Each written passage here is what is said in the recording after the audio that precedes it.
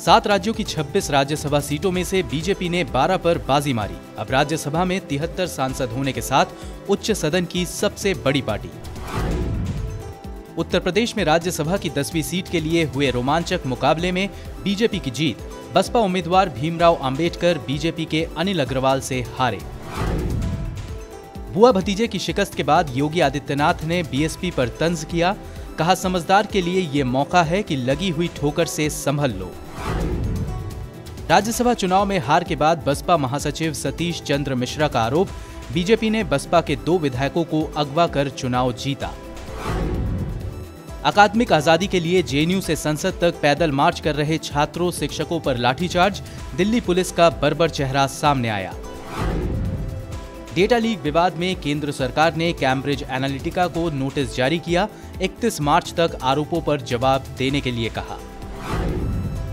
आपके 20 विधायकों पर अदालत का फैसला आने के बाद मुख्य चुनाव आयुक्त ने गो न्यूज़ से खास बातचीत की। कहा, आयोग ने सिर्फ़ राय दी थी, फैसला राष्ट्रपति ने लिया। कर्नाटक सरकार के अल्पसंख्यक कल्याण विभाग ने लिंगायत और वीरशैव लिंगायत के अल्पसंख्यक दर्जे के लिए अधिसूचना जारी की। और दक्षिणी पश्चिमी फ्रांस के ट्रेविस की एक सुपरमार्केट में बंदूकधारी का हमला, तीन लोगों की मौत के बाद पुलिस ने संदिग्ध को गोली मारी।